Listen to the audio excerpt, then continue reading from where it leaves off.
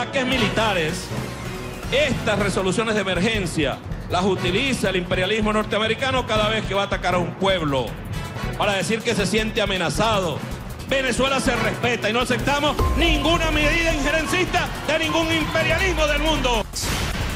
Presten mucha atención a todo eso porque Diosdado Cabello lanza nueva amenaza contra María Corina Machado. El régimen de Maduro apuntó contra la líder opositora y la amenazó al señalar que no va a ser candidata. Así lo habían dejado claro. Diosdado Cabello, vicepresidente del Partido Socialista Unido de Venezuela, PSUV, lanzó una nueva amenaza contra la candidatura de la líder opositora venezolana María Corina Machado a las primarias del próximo 22 de octubre. El régimen de Maduro insistió en que Machado se encuentra inhabilitada para participar como candidata en las elecciones primarias. Cabello, quien es considerado el segundo hombre más importante del régimen de Nicolás Maduro, apuntó contra Machado y la amenazó al señalar que no va a ser candidata. Así lo habrían dejado claro. Es intransigente de verdad lo que diga María Corina Machado. No va a ser candidata. Puede hacer una elección en su casa si quiere y puede ganar la primaria en su casa y puede tirarse en el suelo y hacer todo el berrinche que quiera. Pero a las elecciones presidenciales no va a poder inscribirse porque está inhabilitada. Cada quien que asuma la responsabilidad de sus actos. Así habría asegurado durante una alocución a un medio de comunicación en el país venezolano Diosdado Cabello. Tiene 20 años o más tratando de acabar con la revolución bolivariana y no ha podido. Habría añadido María Corina Machado, quien lidera las encuestas de cara a las elecciones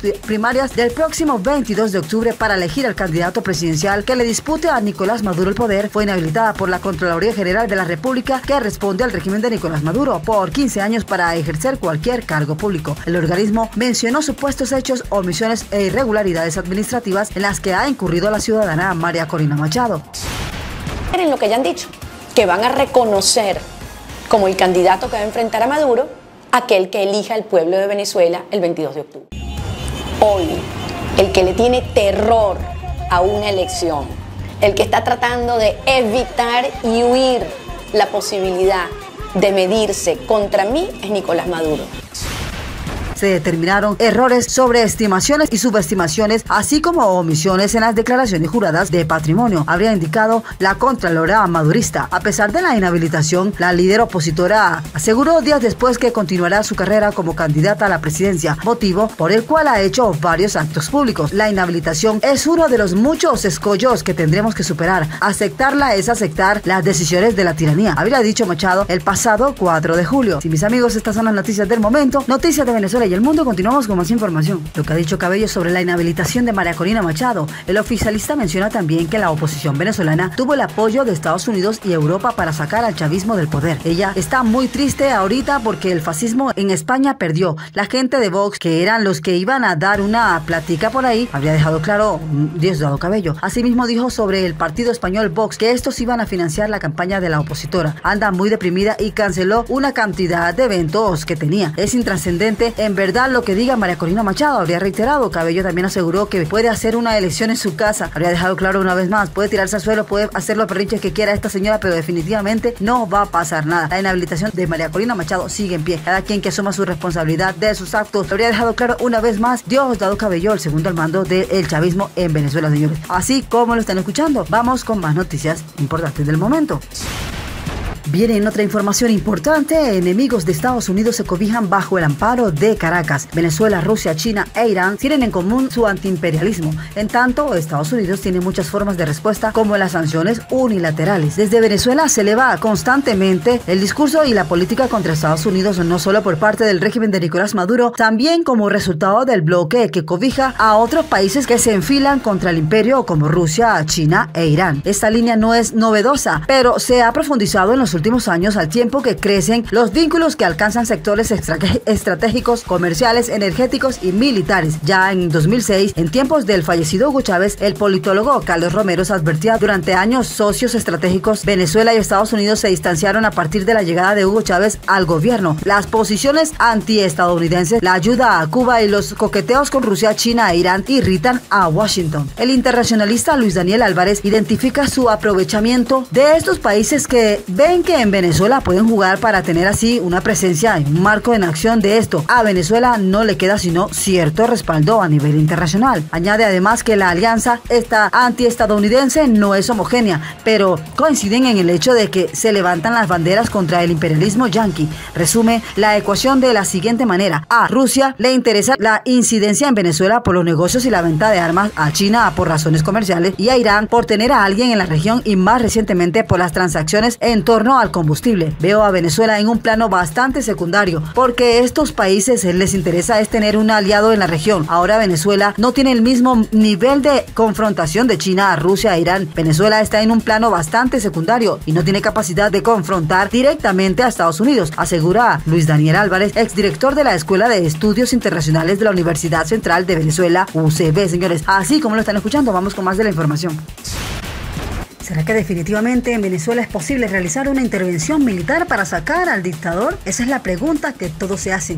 Esta sería una operación realmente militar para poder así derrocar definitivamente a todo este régimen chavista, lo cual se estaría realizando, señores, con algunos gobiernos internacionales, así como lo están escuchando. Presten mucha atención a todo esto, mis amigos, porque algunos expertos se estarían reuniendo para poder así hablar sobre la propuesta que se estaría realizando con algunos opositores venezolanos para derrocar, para acabar definitivamente con este régimen en el país de Venezuela y acabar también con esta crisis, la cual la tiene sumergida desde hace mucho tiempo. Ya la dictadura de Nicolás le está acabando su tiempo en el país caribeño y esta sería una operación moderna quirúrgica de este siglo o sería algo mucho más sofisticado, algo más complejo con el apoyo, por supuesto, de la comunidad internacional. Pero obviamente no van a estar cediendo así de fácil si no existe una amenaza real, una amenaza bastante creíble, una amenaza inminente. Y esto sería realmente por lo que estarían actuando con la fuerza internacional, señores. Estarían entrando con esa fuerza internacional a Venezuela. Esto sería lo que estaría ocurriendo en el país caribeño con este régimen dictador.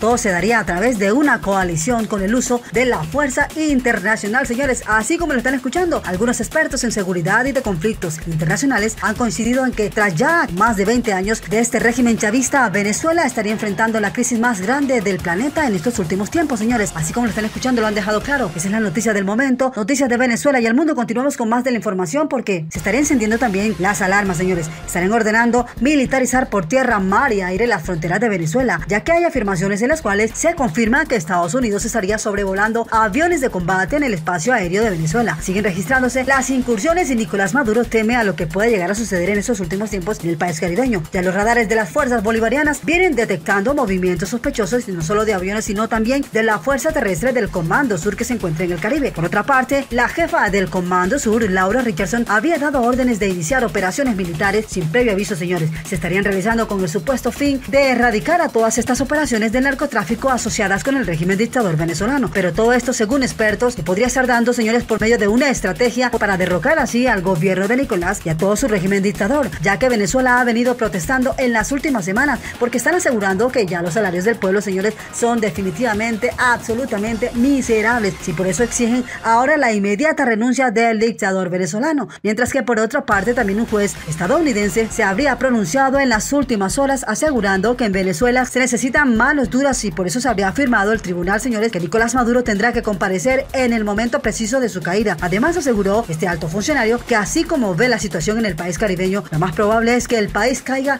hasta un 4.5% la economía. El país de Venezuela no está mejorando, aseguró. Al contrario, podría estar en sus peores momentos. Por eso es que ahora los salarios se aumentan y los productos continúan su alza. Venezuela sufre momentos críticos en su economía. Estados Unidos deberá imponer acciones más contundentes en contra del gobierno chavista y algunos partidos republicanos del Gran Titán, señores, han exigido a la administración del presidente Joe Biden la caída del dictador venezolano. Han asegurado que la situación en Venezuela debe acabar y ya hemos recibido declaraciones de profesores, doctores, abogados, políticos, quienes han exigido un cambio. Y escuchen también con atención, señores, estas fuerzas declaraciones de lo que ha dicho la gente. Vamos con más información.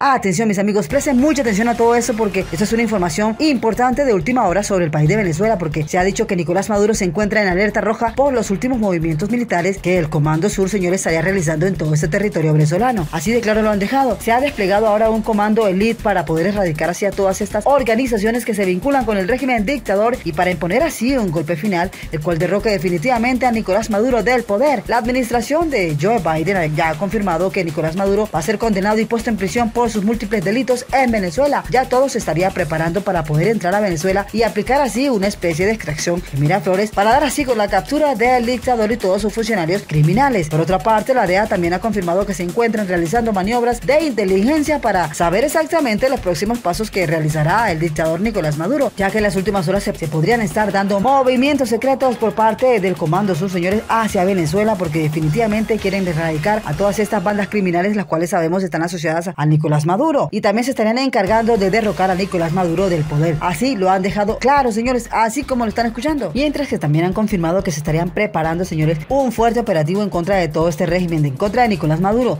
Señores, así como lo escuchan, vamos con más de esta información porque han afirmado que se está preparando una operación para de inteligencia, señores, se está preparando una operación de inteligencia para interceptar a Nicolás Maduro y a todos estos grupos criminales asociados a Nicolás Maduro en Miraflores. Los Estados Unidos acaban de lanzar un comunicado, señores, donde están advirtiendo a Nicolás Maduro de que, de que si continúa con sus vínculos con todas estas operaciones criminales, señores, y, dedicadas al tráfico ilegal de sustancias, deben ser erradicadas, señores, van a ser erradicadas por las fuerzas internacionales. Ya la Unión Europea también ha declarado estado de emergencia en toda Venezuela por las graves irregularidades del régimen contra el pueblo, señores, opositor sobre todo, se estaría necesitando acciones pertinentes por parte de las diferentes fuerzas internacionales para imponer así un golpe final que derroque definitivamente al régimen del poder. Estados Unidos, señores, así lo había afirmado el país del norte, quien también dejó claro, entre comillas, que la situación de Venezuela es alarmante. El gobierno de ese país tiene la obligación de respetar los derechos universales y no abusar, como lo ha hecho todo este tiempo, para derrocar definitivamente al régimen del poder, señores. Así como lo están escuchando mis amigos, estas son las noticias del momento, noticias de Venezuela y el mundo. Continuamos con más información. Bueno, bueno, esas son las noticias de Venezuela y el mundo. Como siempre, agradeciéndoles su gran sintonía, gracias por sus comentarios. Los invitamos, como siempre, a que se suscriban al canal, compartan el video con sus amigos en las redes sociales, activen la campanita de notificación, le den like. Gracias una vez más y chao, chao.